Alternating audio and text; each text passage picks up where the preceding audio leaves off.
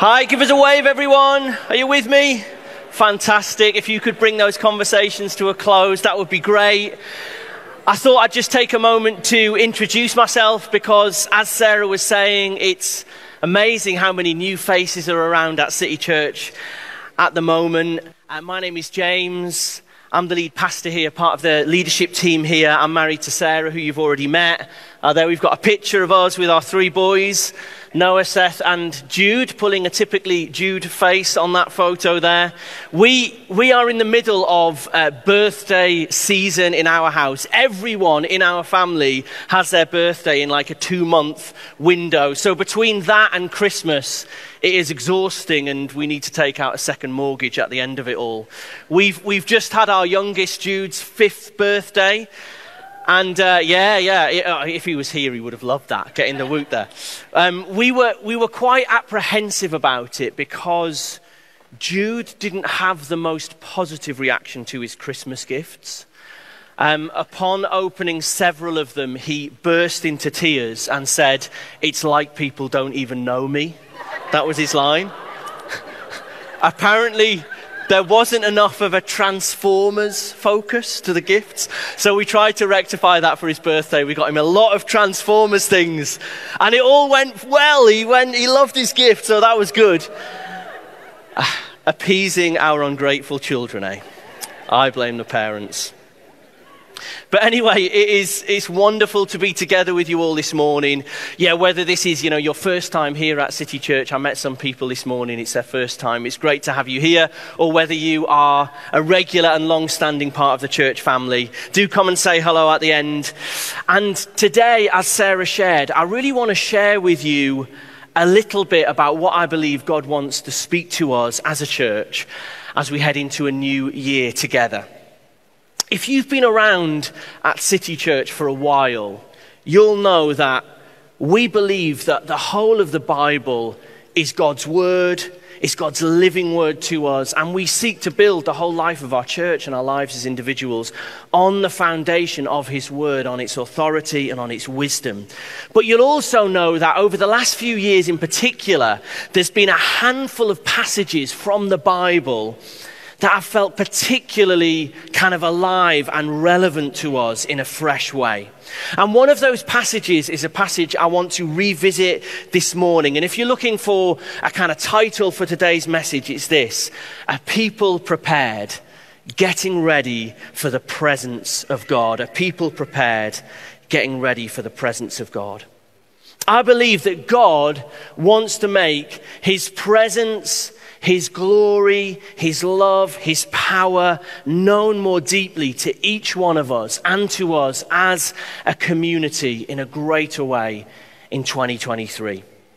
And if you have a Bible with you, you might want to turn to 2 Chronicles chapter 7 and verse 14, 2 Chronicles 7, verse 14, words that God spoke over his people in the Old Testament, but words that are still alive and relevant for us today. This is what God is saying to us. Maybe we could read this together from the screen. Let's read this 2 Chronicles 7, verse 14. If my people who are called by my name humble themselves and pray and seek my face and turn from their wicked ways, then I will hear from heaven and will forgive their sin and heal their land. I want you to hold this verse in your minds. We're going to come back to it, but I just want to spend a few minutes before we get into that and what the application of this might be for us. Just diving into kind of the surrounding context and the chapters that build up to this verse, this moment when God spoke these words. You know, in the Old Testament, God chose a people, the people of Israel. He started with one couple, Abraham and Sarah, and from them came this great nation who were God's chosen people. But they weren't chosen in some kind of exclusive, prejudice, keep it to yourself kind of way. They were chosen ultimately that they would in turn be a blessing to the whole world. God said, I'm going to choose you in particular and bless you, yes, but in order that you might bless every nation, every people on the earth. That's how God seems to love to work. You know, if you're here today as somebody who would say, I've been blessed by God, I've been saved by God, I've been chosen by God, that is never in order that you might just know and enjoy and experiencing that blessing for yourself. It is always so you would in turn take that to the world around you and bring God's blessing to them too. If we fast forward from Abraham and Sarah over a thousand years to, to where we're at with the verse we just read in the book of 2 Chronicles, now the people of God have grown from this one couple into a great nation. They have their own land, they've conquered all their enemies, and their king, Solomon, is called by God to build a temple an ornate, beautiful, sacred space where God is going to be present in a unique and special way. Of course, God is everywhere. Solomon knows that. But in the Old Testament, God decides to make himself present in this particular and distinct way in the temple. And the early chapters of the book of 2 Chronicles are about kind of these very detailed building instructions for this temple. And most people find that stuff a bit boring. I don't know if it's because I used to be an, an, engineer or just because I'm a bit of a nerd, but I love all that stuff. The chapters about, you know, this has to be this many cubits wide and use this gold here and use these curtains here and I want this craftsman to do this and this craftsman to do that. I love all that stuff. And if you read in chapters 3 and 4 of 2 Chronicles, You've got, it's full of detail and extravagance about the pillars and the gold and the precise size of things and, and the cherubim over the Ark of the Covenant and the curtains and the altars, right down to the nails they've got to use in the building of this temple. They spend about seven years building this beautiful, ornate temple. And after they've built it, they pray and dedicate the temple and themselves to God. And then we read that something incredible happens. It actually happens twice, both when they finish building the temple and after they've prayed and dedicated the temple and themselves to God. We read that God's glory, God's presence falls upon them like a thick cloud. This is what it says in 2 Chronicles 5, this, verse 13 and 14. Then the temple of the Lord was filled with the cloud, and the priests could not perform their service because of the cloud, for the glory of the Lord filled the temple of God. Isn't this what we long for? For the glory of God, the presence of God to dwell in us for his power, his love, his majesty to fill our lives, to fill our church, to flow out from us, to change the world around us. I want to experience more of the presence of God. I want City Church to be a place where the presence and glory of God resides and from which the presence and glory of God flows out to transform lives and communities. Do you want that? I want City Church to be a place of fervent prayer that leads to miraculous breakthrough. I want City Church to be a place of deep community and discipleship that leads us all to becoming more like Jesus.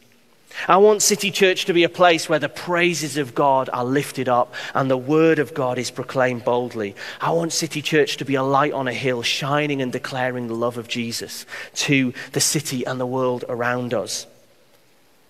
I want City Church to be a place and a people full and overflowing with God's glory and God's presence.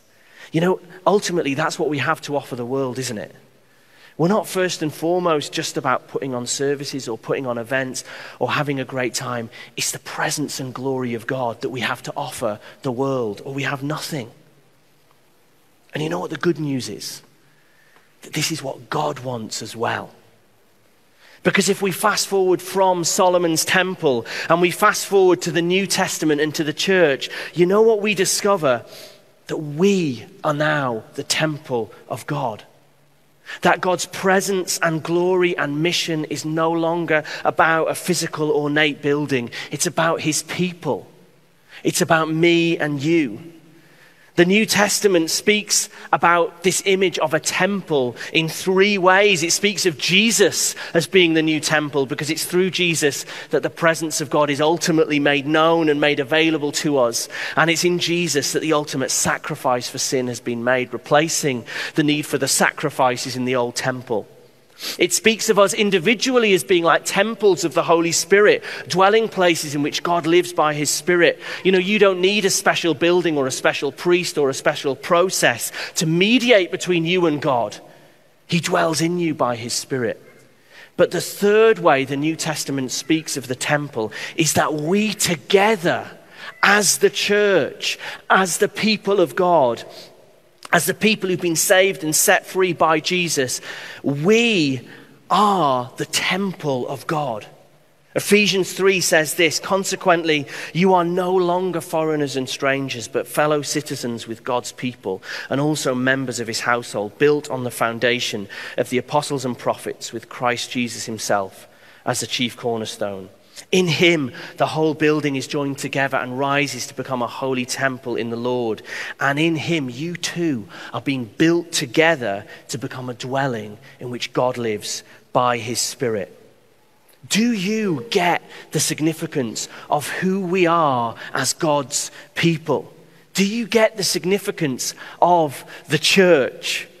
We are together the dwelling place in which God lives by his Spirit. Of course, in the same way, Solomon knew and recognized God's everywhere. He's not boxed in by us, just as he wasn't boxed in by a temple. But in a special and unique way, the church, us together, me and you, we are the dwelling place of God. And we are, as a people, the people who are going to carry his presence and his glory out into the earth to touch and bless and change lives. We're not a social club for people with broadly similar beliefs. We're not just a charitable enterprise trying to do our bit amongst many others. We're not a building. We're not a program of services and events and initiatives. We are the dwelling place of God. And so, whenever we serve, whenever we give, whenever we gather, whenever we scatter, whenever we go to our workplaces, whenever we do things to bless the city, whenever we invite people in, we are building the dwelling place of God and we are carrying the glory of God. And at the start of this year, God is asking us whether you and me, do we want to see and know more of God's presence amongst us and flowing out from us to the world around us? Do you want to see more of the presence and glory of God? Lives transformed people discipled, sinners saved, powerful encounters. That's what Solomon wanted. That's why he built the temple. And after he built it and the celebrations were finished, God appears to him in a dream. And that's where we come back to our verse from the beginning 2 Chronicles 7, verse 14. This is what God said to Solomon in a dream after the temple was built, after it had been dedicated, after the glory of God had come. This is what God said If my people, who are called by my name humble themselves and pray and seek my face and turn from their wicked ways, then I will hear from heaven and I will forgive their sin and heal their land. And this is what I want to focus on this morning. You know, it's really important um, to talk about all the great plans we've got as a church, and we'll touch on some of those later, and all the great uh, things we want to get people involved in. But actually, it starts with the heart.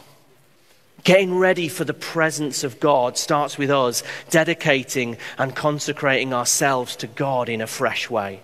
If we're going to know more of His glory for both ourselves and for the world around us, because notice this is about the healing of the land, God wants to draw us back to four simple things from this verse we can devote ourselves to if we want to see and know His presence and His glory come. Firstly, we must humble ourselves. There's no presence of God without acknowledging Him as Lord. You know, humble here doesn't mean just being polite and nice and kind, although that's a great thing to do. Of course, humble is much stronger than that. It means putting ourselves under God's authority. Is Jesus Lord of your life today? Is every aspect of your life surrendered to Him? Or are there some areas where something or someone else is Lord? You know, everyone, whether you would consider yourselves religious or spiritual or not here today, everyone has something or someone that is Lord over their life. the thing that drives and controls and shapes and defines everything else. It might be Jesus. It might be a relationship. It might be family. It might be money. It might be pornography. It might be success. Your Lord might be yourself. You know, we live in a culture which celebrates self being Lord, don't we? Be true to yourself, express yourself, discover who you truly are. That's the key to happiness and fulfillment. Can I suggest to you that having yourself as Lord might be the worst option of all? It's a lie that it's a good way to live, to put yourself on the throne. It leads to misery and emptiness. Today is a day to submit our whole lives to the Lordship of Jesus once more. There will be no glorious presence of God amongst us and flowing out to the world around us, no greater impact for Him if it doesn't start with a greater submission to the Lordship of Jesus. We humble ourselves. Secondly, we pray. We need to be people of prayer.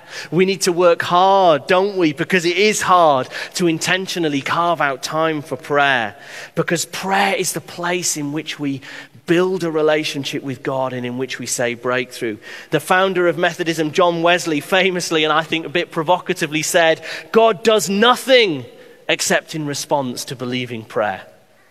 God does nothing except in response to believing prayer. What might it look like for you to be a person of prayer this, this year? For me, it looks like I take 10 minutes at the start of each day and I pray through the Lord's Prayer, using it as a template for my own prayers. And that's such a wonderful thing to do. It takes me through connecting with God as my Father, remembering I'm loved by Him as I pray, Our Father in heaven. It takes me through worship and humbling myself before Him and acknowledging His holiness and majesty as I pray, Hallowed be your name. It takes me through praying for His kingdom to come in situations both close and far, as we did this morning for Iran, as I pray, Your kingdom come, Your will be done on earth as it is in heaven. It takes me through asking for those daily things that I feel feel I need or that I'm worried about. Give us this day our daily bread. It takes me through confession of sin and forgiving others as well. As I pray, forgive us our sins as we forgive those who sin against us. And finally, it takes me through asking for God's guidance and protection and His deliverance, which I know I need every day as I pray, lead us not into temptation but deliver us from evil. For me, it looks like joining our morning times of prayer as a church on Zoom two or three times a week at 8 a.m. You'll find all the details if you want to do that on our church website. For us as a family, we've started using the Lectio for Families app together each weekday morning, which is it's, it's chaos and madness, but it's a wonderful thing to do together as a family. What might stepping into prayer look like for you this year? Knowing more of the presence of God filling our lives and our church and overflowing to the world around us is going to depend on us being a people of prayer. We humble ourselves, we pray. Third thing, we seek God's face. You know, seeking God's face is about desiring and seeking and being hungry for more of God's presence. Are you hungry for more of God? You know, I have no interest in going through the motions of the Christian life and of church. I want to know his presence. I want to see his glory. Because apart from his presence, we have nothing to offer the world. Moses cried out to God, If your presence doesn't go with us, don't send us, God. That needs to be our heart this year. God wants us to know and enjoy and experience Him. He wants us to know His love. He wants us to know His kindness. He wants us to know His power. Following Jesus is about the head, it's about believing the right things, but it's also about the heart, experiencing God at work in us. I'm not satisfied with what I've seen and known so far. I want to know His presence more as I gather together with you I want to know His presence more in my daily life. God's presence is about those wonderful mountaintop worship experiences, but it's also about the Monday morning, knowing His presence. It's a whole life lived in awareness of God's presence. And if you want to know more of God's presence, God is saying to us today seek my face. Ask and it will be given to you. Seek and you will find. Knock and the door will be open to you. Let's be a people who seek God's face this year. And I just want to give you a heads up. On the evening of Sunday, the 12th of February, we're going to have a night together of worship and prayer and seeking God's face together. We're trying to do one of these each term at the moment with the hope it might become a more regular thing. We'd love to see you there Sunday, the 12th of February. Because a people who seek God's face together are a people who will know his presence more deeply. We humble ourselves, we pray, we seek God's face, and finally, we turn from wickedness.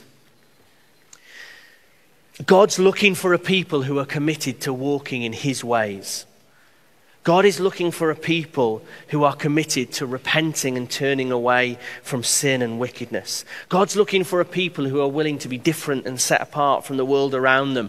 A people who deal with stuff in their lives they know is not in line with God's heart through confession and repentance. A people prepared. You know, so often as we look back on great moves of God throughout history, they begin with people being overwhelmed by the holiness of God and a conviction of sin and a need to repent and come back to God. Jesus came saying, The kingdom of God is near. Therefore, repent. Get ready. Get your heart ready. Turn from anger. Turn from bitterness. Turn from unforgiveness. Turn from sexual sin. Turn from selfishness. Turn from gossip. Turn from a lack of compassion for others. Turn from drunkenness. Turn from putting other things before me from anything you know is not in line with my holiness. You know, God's not looking for per- perfection. God knows we all make mistakes, and praise God because Jesus has died in our place. Our relationship with God doesn't depend on our perfection, but He is looking for a people who are serious about holiness, a people who turn from wickedness, and if we want to see a greater measure of his presence and his glory in our lives as individuals, in our lives together as a church, we must be a people who turn from wickedness. You know, for me, in his grace, God's made me aware of areas in my own life where I need to turn from wickedness. I'm bringing before God today the way I can be impatient and angry at my own kids I don't know if anyone else can resonate with this. I never thought I was an angry person until I had children. but I found myself, you know, raising my voice and getting angry and kind of wanting them to know I'm angry. I'm bringing that before God today. I'm bringing before God today that I can lack compassion for people I can lack compassion for people who are lost and broken, and I'm asking Him to change my heart. I'm bringing before Him today that I can be judgmental of other people. You know, so often when we mess up, we, we put it down in ourselves as a, as a mistake, don't we? When someone else messes up, it's kind of defining of their character and who they are. I'm bringing that before God today. This is a moment for us, whether it's a big thing for you or a small thing for you, to turn from wickedness because it's when we do that that God's presence and glory comes in us and flowing out from us to the world around us. I'm really excited for the year ahead at City Church. You know, we've got loads of exciting things planned and prepared. We're going to be putting plans in place to launch a CAP debt centre to serve those in poverty, both financially and with the love of Jesus. We're going to be investing more in this amazing space God's blessed us with. We're thinking a lot about whether we need to multiply our, our Sunday gatherings to accommodate some of the growth we're seeing. We're launching our incredible uh, discipleship triplets program in a few weeks, which is going to help us all go deeper in faith and disciple one another. We've got a holiday club coming up at Easter. And that's not to mention all the ways we're going to continue to bless people through our, our, city kids and youth and student ministries and our city groups and city refugee welcome and our food pantry and other partnerships. It's all amazing stuff. It's going to be a great year at City Church. But if it doesn't start here with us humbling ourselves and with prayer and with seeking his face and with turning from wickedness, it's not going to amount to much. There will be no presence and glory of God unless we do this. And if you're here this morning as someone who doesn't know if you've ever made that decisive step of saying, Yes, I want to know you, God. I want to know your presence in my life. I believe in you. The good news for you is that in Jesus, God Himself came and died upon a cross and rose again in order that your sin, everything that holds you back from knowing the abundant eternal life He has for you, could be dealt with. And you know, the doorway into that life He has for you is everything we've talked about this morning. It's humbling yourself and saying, Jesus, I want you to be Lord of my life. It's praying Perhaps a simple prayer with someone else of just accepting Jesus into your life. It's seeking God's face. It's saying, I welcome you into my life by your Holy Spirit. And it's turning from wickedness, acknowledging I've fallen short. I've fallen short, God. I need your salvation won for me by Jesus on the cross. You can do that this morning. It doesn't matter who you are, it doesn't matter what kind of life you've lived, what you've done. If you come in humility and prayer and seeking His face and asking His forgiveness, you can know the goodness and life God has for you today.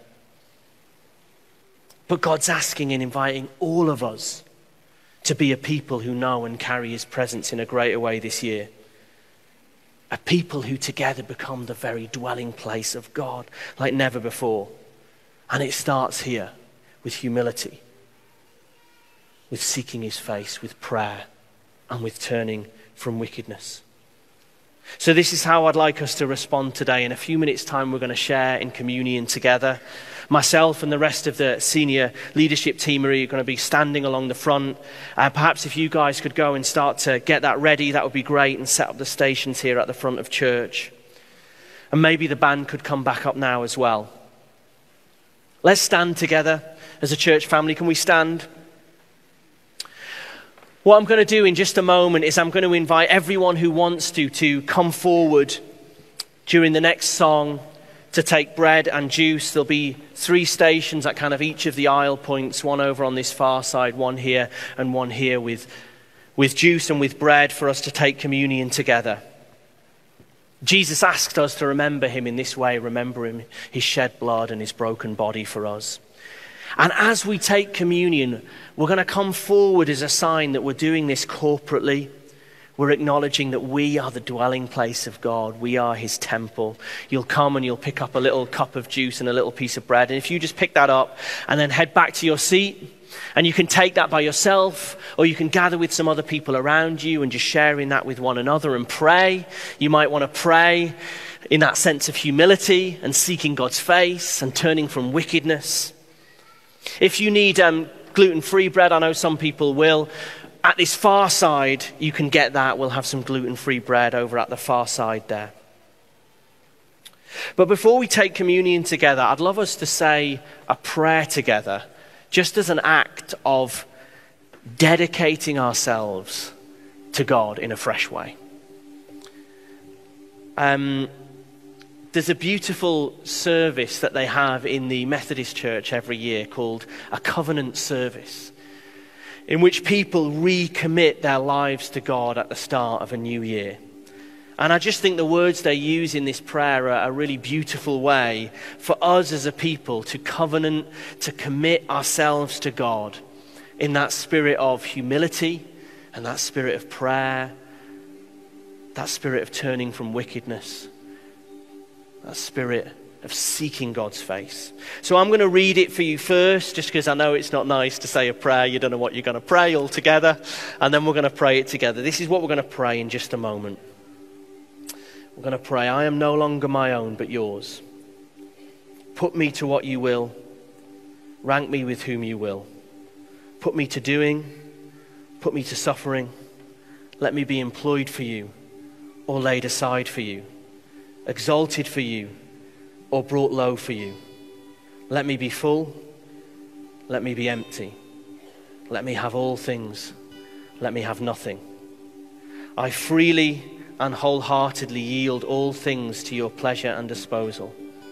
And now, glorious and blessed God, Father, Son, and Holy Spirit, you are mine, and I am yours. So be it. And the covenant now made on earth, let it be ratified in heaven. Amen. So, if you feel able to do so, and if you want to commit your life afresh to God today, if you want to, with me, invite Him to make His glory and presence known in us and through us in a deeper and richer way this year, whether you're doing that, you know, as a recommitment, or whether you're actually going to use this moment to commit your life to Jesus for the first time, why don't we pray this prayer together? If we could go to that next slide. Let's say this together. I am no longer my own, but yours. Put me to what you will. Rank me with whom you will. Put me to doing, put me to suffering.